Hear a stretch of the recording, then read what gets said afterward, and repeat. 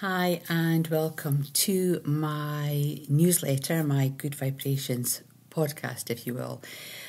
We're in June, but in reflection for the month of May, and it was just a really unusual month. Lots of milestones met in the month of May with Michael and I um, celebrating our 39th wedding anniversary, and that sort of gave us pause for thought. Where have we been in over the last 39 years? What have we done? What has our journey consisted of? And that whole aspect of time, you know, how relevant is it? And we think of time very laterally and literally, but we need to think of it as a more expanded, all encompassing thing. Um, so, yes, it was a really interesting month, I have to say. And one of the things that I really became aware of is how I get really easily distracted in the digital world, but I also get distracted at home. So I'll, let's say I'm doing some housework, I'll start in one room, go to the next room, and suddenly I'm not doing the housework, I'm actually tidying out cupboards or reorganizing the linen closet or doing something that is off plan. So I get really distracting. I go down that rabbit hole, as I call it, where one thing gets to the next thing, leads to the next thing, and suddenly I'm just doing something completely different. But with the digital world, it's really easy to get pulled in and sucked in to that digital uh, framework and you start on one thing and suddenly you're off on a completely different tangent because of all the links and the you may like this and all of that process that just sort of sucks you in. And all the algorithms that are out there that are watching what we're doing providing us feeding us with product that we just happen to come along and, and find it and we've clicked on it and suddenly we're bombarded by similar stories or similar clips or similar music or all that process. And I find the digital world quite overwhelming at times, mainly because I don't really understand what it is. I do understand what it is, but I don't understand how it, the mechanism of it in the background and that spider's web of just how vast that spider's web actually is once you start to delve into that process. So, one of the things that um, came to me in, I think, sort of April and then into May, I did some action around this thought was how people consume digital product. And I'm still stuck in the old, for those of you who have my psychic development book, it has a CD with meditations on it. So that's my mind frame is a CD. Even on iTunes, I will buy an album. I don't stream an album. So I'm, I'm in that process of moving from my 1980s, 1990s, and 2000 framework, mind framework, into well, what is relevant now and how do people consume products and how do I get my product out there to the wider audience?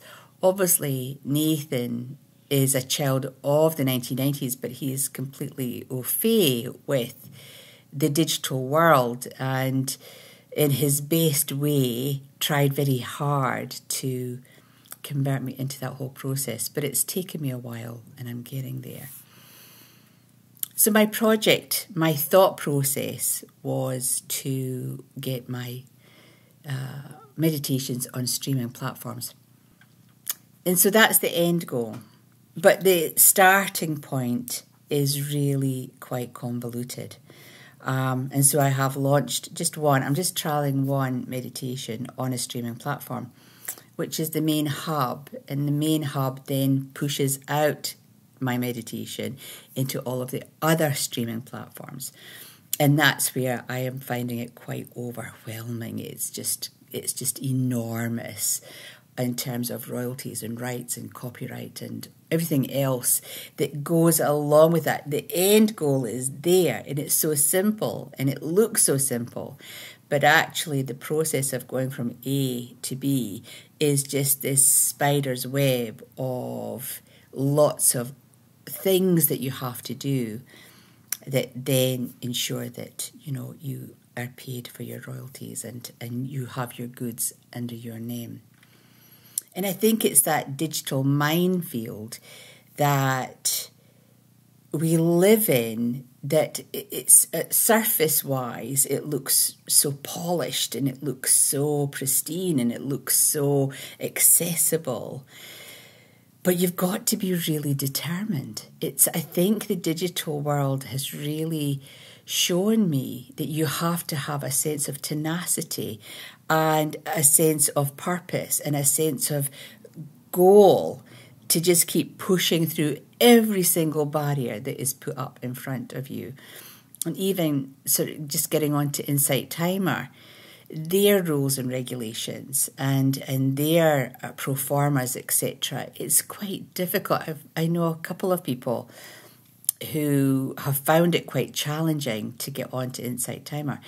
And you know, I'm really blessed. I've had about 45 or 46,000 downloads of my product on there, which is phenomenal. And one product in particular, I think we're up to 26,000 downloads. So, one meditation in particular has really captivated people's imagination and it's captivated their their sense of eh, sort of enlightenment and finding themselves. And i think that's that's my end goal. I want to captivate people through my downloadable product.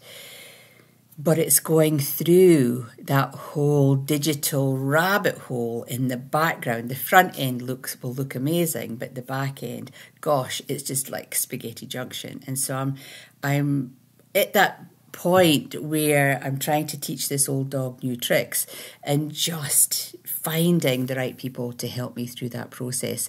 In using discernment, I've had to use discernment this month in finding the right sound engineer and producer, um, voice coach, had a wonderful connection with a voice coach here in Rolleston, a lovely um, Scottish girl, just lovely just to talk to someone in my own language. I never hear my language. It's you guys always tell me, "Oh, I love your accent." I don't hear it, and it's not I talk to another Scottish person I think, "Oh, there it is. That's my Scottish accent." So we had a lovely time together, just doing the whole vocal coaching, etc. And again, that's down that rabbit hole. It's that checking that the techniques are right, and the voice is right, and the tone is right, and the breathing is right so I started off with a vision of, oh, I'll just stream, I'll just stream my meditations, Phil. That'll be easy. That'll be easy. And wow, the journey has been quite convoluted.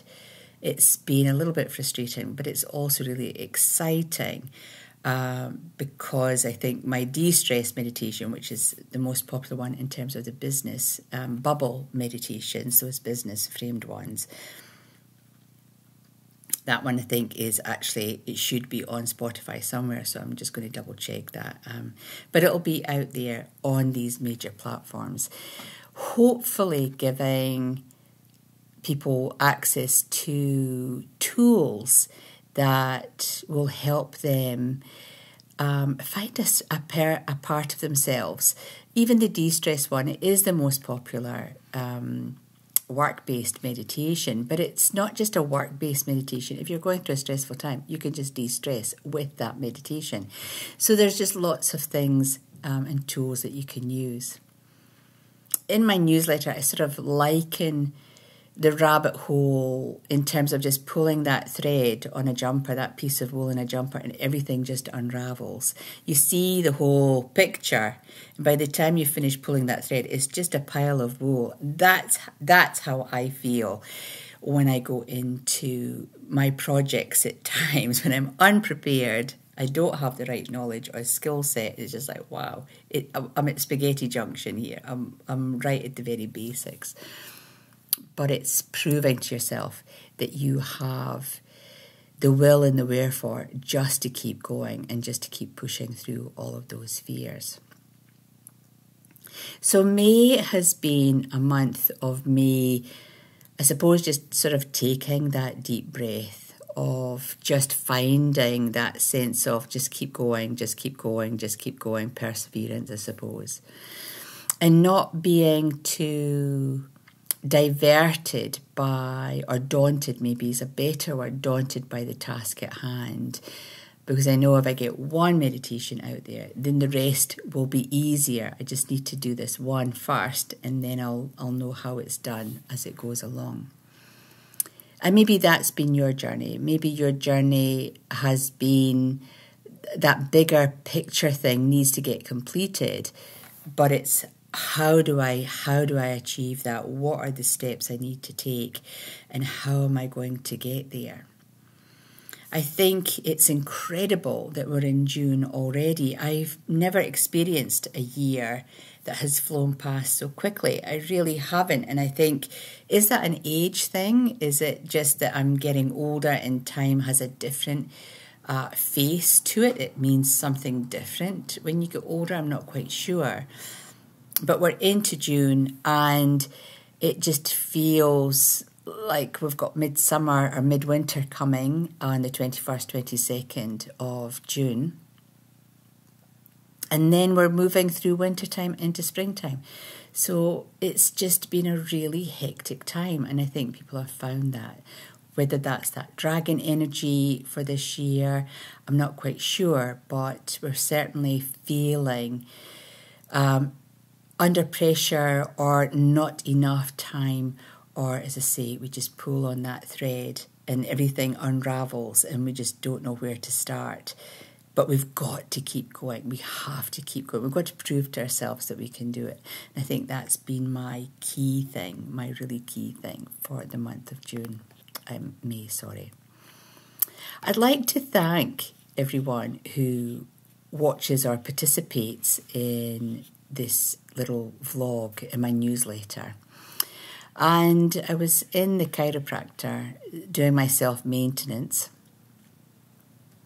with the lovely Tom, who puts my spine and my ribs all back into place. And a lovely lady, um, I think her name is Kay, a lovely lady came up and said, Oh, are you Phyllis Brown? I went, Yes, I am Phyllis Brown.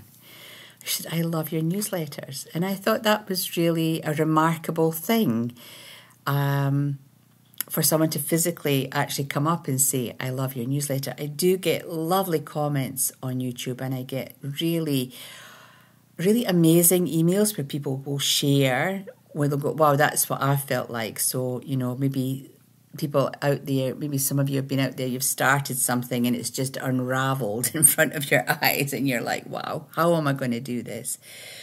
Who is going to help me? How am I going to get through this process? And I think it's it's really humbling actually. It's really humbling when you guys do email me or you message me or this lovely lady um, coming up and saying, "Oh, you know, I really love your newsletters that come out." It's it is humbling. It truly is humbling. So, a huge thank you. I did thank her, and she'd been in one of my courses quite some time ago, many years ago, actually. And it was just really nice to know that. Yes, I'm speaking into the void, but there are people in the void hearing, hearing the message and finding some purpose behind it or finding some relief. I think for her, it's just like it's so awesome to hear what you're going through. And then I think, oh, yeah, I'm going through that as well, so that's okay. So that was her take from the, the little video vlogs and the newsletter. If you'd like to join me live, so what is happening in the month of June is I have a live talk on guardian angels. The link is in the newsletter. You're more than welcome to click on that and join um, the team of people. The angels, the live talks on angels are always really popular, especially with um, the North American and South American population and the Europeans.